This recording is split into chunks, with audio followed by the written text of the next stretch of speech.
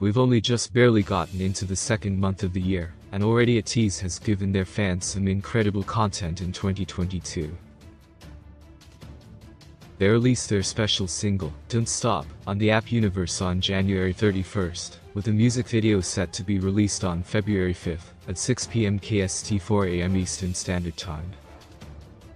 However, a recent post on Reddit is sharing love for the group not just for their new music, but also for a different kind of comeback of the year. Reddit user Jimjiminis shared their thoughts on the evolution of member San's eyebrows, and why they believe that 2022 looks like the beginning of a great new era for them.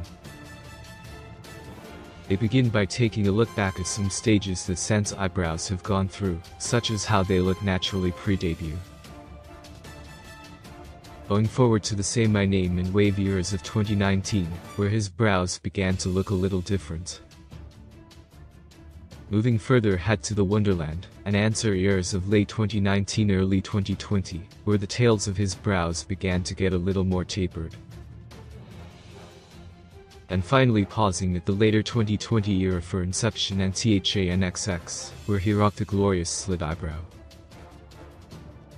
From there, however, they talk about the deforestation that happened with San's brows in 2021, where they started getting a little thinner and more elongated during the fireworks, I'm the one ear. Before making their skinniest and sparsest appearance yet during Deja Vu and Eternal Sunshine, until the end of the year. Due to his pre-debut photos, it seems like San has naturally fuller thicker eyebrows, and the look really suits him well. That's why fans are elated to see that his brows seem to be making a comeback, now that the new year has begun.